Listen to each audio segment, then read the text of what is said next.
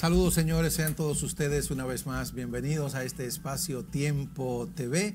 Como siempre a esta hora de la tarde, 6 de la tarde y hasta las 7 de la noche, eh, tratando de llevar a ustedes eh, los acontecimientos noticiosos, tanto nacionales como internacionales, de una eh, real y efectiva actualidad con el interés y el propósito de todo este equipo de que ustedes se mantengan siempre bien informados. Doy las buenas tardes a mi distinguido amigo y hermano Johnny Carpio, que ha venido hoy con un con una chaqueta realmente al estilo de él, de gente que está, yo lo voy a decir en una forma que no es mi estilo, que está comiendo con grasa. Bueno, gracias César y, te deseo lo mejor eh, para bienes por esa bendición. Yo sé que sí, y tú sabes que de corazón. Gracias a los amables televidentes por estar en sintonía, como siempre, con este su espacio Tiempo TV. Hoy con un resumen de las principales noticias ocurridas durante toda esta semana y tenemos muchas informaciones que compartir con ustedes. Así es, tú sabes Johnny que quiero dar un voto de reconocimiento al equipo. A veces uno, eh, José Ortega y Gasset dijo en una ocasión que los árboles no me permiten ver el bosque.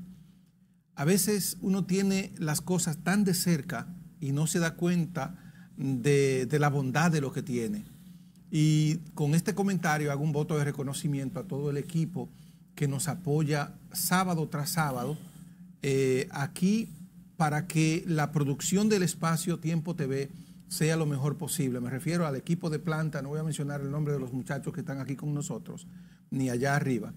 Pero bueno, empezando por, por Reinaldo, por ti y todos los muchachos que nos apoyan, por la paciencia a veces, señores, en los programas ocurren cosas detrás de la cámara que ustedes no se dan cuenta.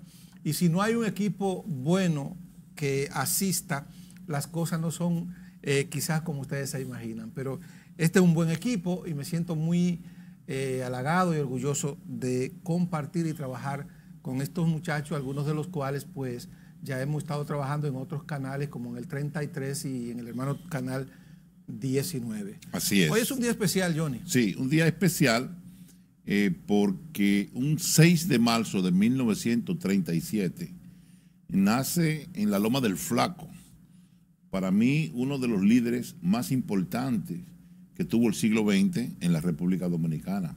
Y no solamente, perdóname que te interrumpo, no, solo para ti, yo estoy seguro que sin mequindad para el país, si se mide la figura de él, como humanista y como político en la dimensión real. Así es.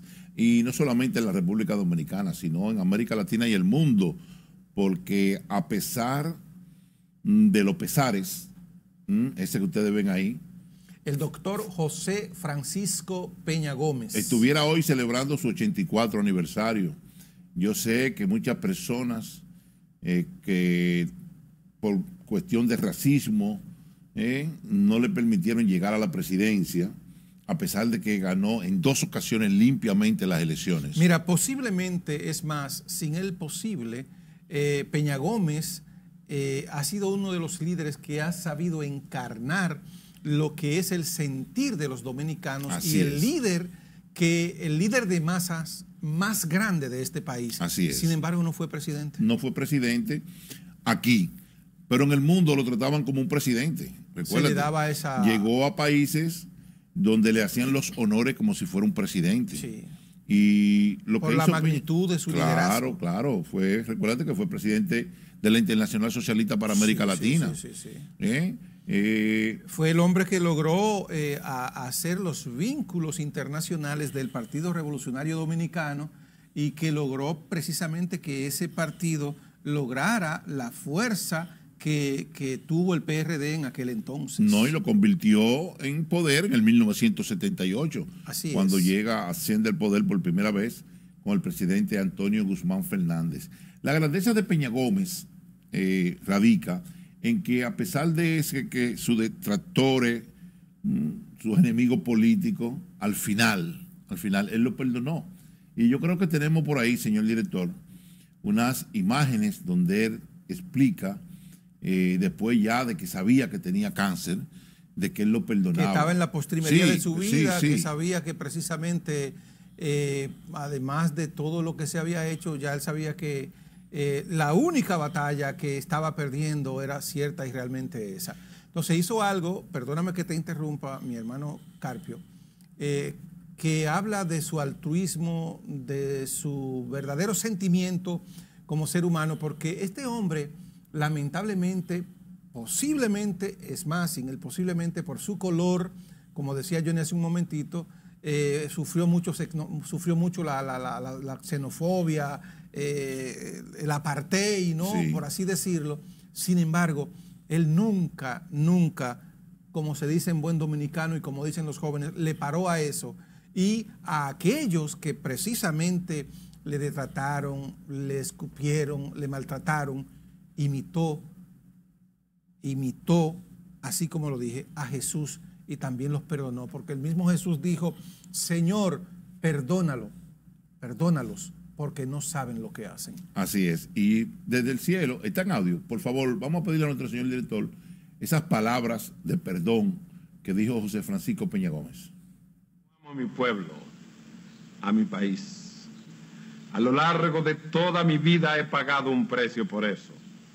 He recibido ataques feroces, a veces frontales, a veces con venenos más sutil, como ahora pero yo los perdono. Mis adversarios pueden contar conmigo, con mi perdón. Eh, no todo el mundo hacía eso. Eso te iba a decir, oye, escuchándolo, eso lo he escuchado muchas veces, pero ahora me compungió. Sí. Porque cuando él lo dijo, lo dijo de mucha, de corazón. Entonces, ojalá cualquier ser humano tener la, dignidad, la fortaleza, la gallardía y la calidad y el valor de perdonar a aquellos que le han hecho daño.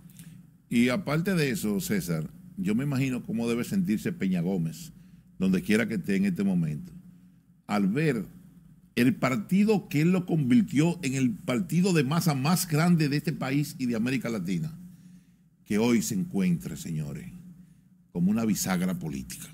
Así está el PRD. Lamentablemente. Así está el PRD que pasó de ser partido mayoritario a ser partido minoritario. ¿eh? Y qué pena que un líder como Peña Gómez, que tanta lucha le dio para llevar ese partido al lugar donde lo dejó, hoy se convierta en ese tipo de partido. Yo pensando, ¿hasta dónde llega el egoísmo, los sentimientos bajos, eh, el interés político, económico, eh, que llega a un punto de, usar eh, zancadillas y de hacer daño, no importa cómo sea ni a quién sea. Yo subo, la, yo subo por encima de tu cabeza, pero lo importante es que yo estoy encima. Qué triste eso, ¿verdad? Así es. Pero qué grande, cierta y realmente fue Peña Gómez. Así es. Miren, y nosotros desde aquí, tanto César como un servidor y el espacio-tiempo que debe, queremos felicitar a todas las mujeres. Hoy es sábado y el próximo lunes, 8 de marzo, se celebra el Día Internacional de la Mujer aquí en la República Dominicana. Así es, Día Internacional de la Mujer desde el año 1975 se celebra a nivel internacional, a nivel mundial, eh, por declaratoria de la ONU, el Día Internacional de la Mujer. es un día en el que yo de manera particular digo que ese no es el Día Internacional de la Mujer y no me tomen la palabra. Las mujeres, para mí, desde mi punto de vista, desde mi sentir, Johnny y los televidentes, eh, los 365 días son de las mujeres. Porque de nada sirve, Johnny, que el día 8 de marzo, ahora, el próximo lunes, eh, le lleve flores a su esposa y los, los, 364 días del año usted eh, haciendo todo lo contrario. Maltratándola, hablándole mal, Claro, o sea, es así. así. Así que felicidades para todas las mujeres en, en, su día, el próximo lunes, y felicitar también a la ministra de la, de la mujer, la licenciada Maida Jiménez, quien es la directora de esa institución, que por cierto estuvimos conversando con una de sus funcionarias y próximamente en este mismo mes se comprometió a venir con nosotros. Aquí eh, Mayra Jiménez al espacio. Ah, excelente, excelente, qué bueno. Pues nada, desearle los mejores parabienes a las mujeres en su día, 8 de marzo, eh, y que sea un día para que eh, reflexionemos todos a fin de que, y sobre todo los hombres, le demos eh, definitivamente la oportunidad a la mujer de que se continúe desarrollando, que continúe creciendo en todos los aspectos y en todas las áreas del saber humano, porque es muy egoísta de parte nuestra querer mantener subyugada a la mujer cuando la mujer tiene tantas eh, condiciones sobresalientes eh, que pueden ser aprovechadas para el servicio de la humanidad. Así es que a, los hombres y a la sociedad en pleno que reflexionemos en este 8 eh, de marzo, Día Internacional de la Mujer. Bueno, y vamos a continuar con las felicitaciones antes de comenzar los ataques a otras personas.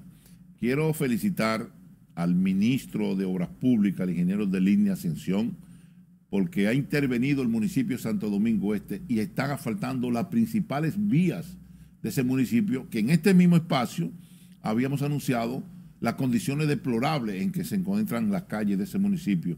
Y qué bueno que han comenzado por la principal, esa Costa Rica, que era un desorden llena de hoyo, pues ya han comenzado a, taparlo, a repavimentarlo. Y miren, esa que yo tanto pedí aquí en este programa, crucé el martes, señores, y digo, oye, ojalá la podamos mantener así asfaltada totalmente la avenida Miguel Barceló. Cuando hay tapones en el puente Juan Pablo Duarte ¿eh? y en el puente Profesor Juan Bosch, esa es la vía de cómo usted llegar al puente flotante y ya estar en el Distrito Nacional. Eso fue el jueves que yo tuve que cruzar a una audiencia que tenía y digo, no, no, no, yo tengo que grabarlo porque así como lo ataqué, así debo decir las cosas buenas. Ya por fin está totalmente alumbrada, ya se puede cruzar de noche está totalmente asfaltada y limpia. Y, digo al ministro, y también no puedo ser mezquino, tengo que destacar que también el alcalde Manuel Jiménez, aunque no nos ha respondido a nosotros como debe respondernos, ¿eh? porque lo apoyamos siempre en este espacio, pero Manuel Jiménez ha mantenido esa avenida Miguel Barceló totalmente limpia, eh, en coordinación con EDESTE la alumbraron y ya por ahí se puede cruzar a cualquier hora del día. Así que felicidades al ingeniero de línea Ascensión por el bacheo que están haciendo en las principales calles del municipio Santo Domingo Este y por resolvernos ese problema que ninguno de los alcaldes, vamos a decirlo, ¿eh? ninguno de los alcaldes, ni Domingo Batista, ni Juan de los Santos, ni Alfredo Martínez, pudieron reconstruir la avenida Miguel Barceló. Eso es cierto, así es, definitivamente. Bueno, la vicepresidente de la República, eh, Raquel Arbaje, estuvo en Santo Domingo no, Raquel Peña. Raquel Peña. Es que son Raquel las dos. Es que son Raquel las dos. Raquel Albaje es la esposa del presidente. Sí, ya la hice, la ascendí a, vicepresidente. Bueno, pues Raquel Peña, vicepresidente de la República, estuvo en Santo Domingo Este eh, supervisando todo lo que es el proceso de vacunación. Eh, el gobierno central está muy preocupado e interesado en que la población dominicana sea inmunizada para definitivamente poder salir de esta pandemia, de esta enfermedad que está afectando no solamente la salubridad eh, en términos específicos, sino de manera general, eh, ha afectado la economía, el estado emocional y muchos aspectos de la cotidianidad y la vida de las personas. Así es que pienso que todos debemos de colaborar para que esto se convierta en una realidad. Y no solamente que debemos colaborar, que debemos lo que tenemos la dicha de tener nuestros padres vivos, de llevarlo a vacunar. Yo estuve el jueves llevando a mi madre a vacunar, mi madre con problemas de discapacidad, pues yo no tuve ningún inconveniente en penetrar al área donde estaban vacunando y les exhorto a los amables televidentes que tengan sus padres vivos, llevarlo a vacunar. Es importante que ningún adulto mayor se quede sin vacunar. Y como bien dice César, los están haciendo en orden, tanto en, muchísimos centros como multiuso, eh, juntas de vecinos, el Hospital Ramón de Lara, la Universidad Católica que tenemos aquí al frente, Pucamaima, la UNFO, el Colegio Médico, y él estaba repleto también. O sea, hay muchísimos sitios. No hay lugar para que usted no pueda decir que va a llevar a su padre a vacunar. Por cierto, Johnny los televidentes, que el más reciente boletín, el más reciente boletín epidemiológico de salud pública informa de que este mismo sábado pues está reportando 12 personas fallecidas por coronavirus y unos 573 eh, nuevos casos.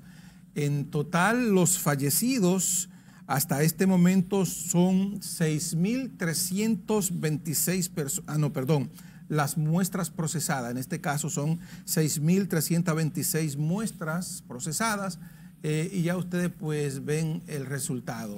Eh, pienso que con la colaboración de todos, ciertamente podemos ganarle la batalla a esta enfermedad. Y cuando hablamos de la colaboración, me refiero no solo a lo que decía Johnny sobre el proceso de vacunación, sino a usar las mascarillas, el distanciamiento social, el lavado constante de las manos o su higienización a través de algún tipo de gel eh, que pueda ciertamente desinfectar las manos, tocarse lo menos posible la cara y ya todas las instrucciones que los médicos y salud pública ha estado indicando eh, cuál es el comportamiento que debemos adoptar para ganarle definitivamente la batalla al COVID-19.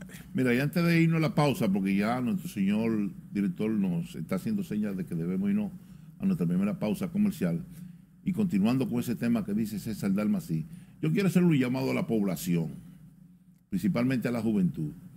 Muchos creen que porque ya tenemos la vacuna, debemos comenzar a beber, a parrandear, escúcheme el término, a visitar los drinks sin mascarilla. Al teteo, como dicen. Al teteo.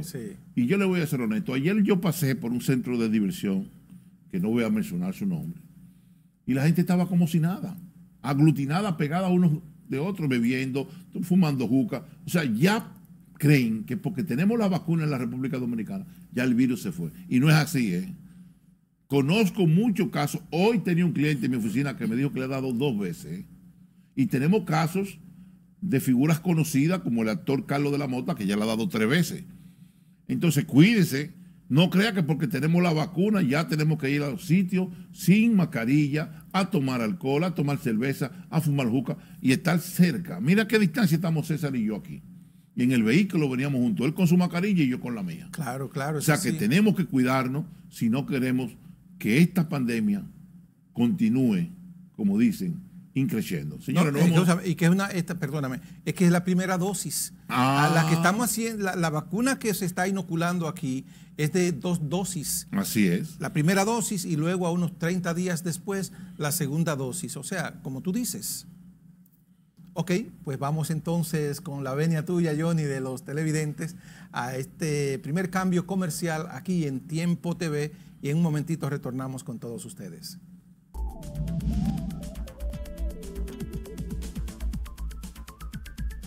Continúe viendo Tiempo TV.